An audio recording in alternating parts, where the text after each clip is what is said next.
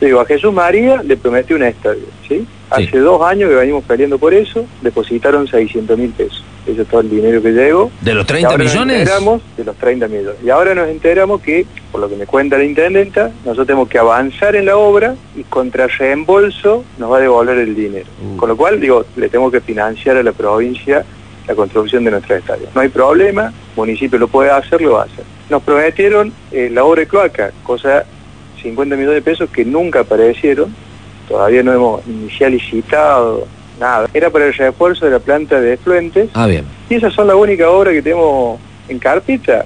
Nos dijeron que tal vez un pavimento en alguna calle, pero digo, supongamos que esas dos cosas son reales, que son 80 millones de pesos contra 280 millones de pesos. Yo no sé cuál es el federalismo.